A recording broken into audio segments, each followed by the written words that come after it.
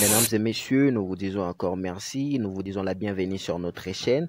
Aujourd'hui, nous allons parler de comment créer un studio photo à la maison à partir des zéros, à partir des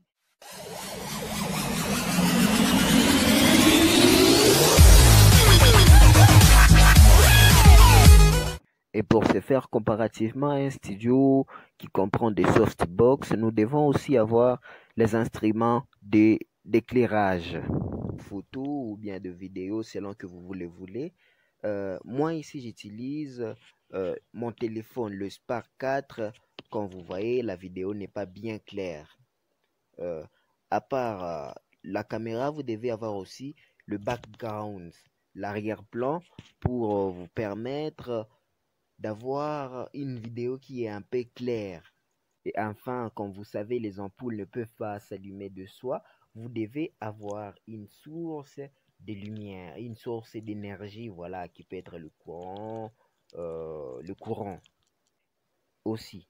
Et il y a tout le matériel dans une chambre, voilà, si vous voulez, vous voulez faire votre studio dans une chambre, le local doit être bien fermé, les fenêtres qu'il n'y ait pas de lumière extérieure, que la lumière celle qui sera produite ça soit la lumière de votre source d'éclairage, entre autres les ampoules ou projecteurs. Comme vous voyez bien la vidéo, c'est mon propre studio que j'ai créé dans ma chambre.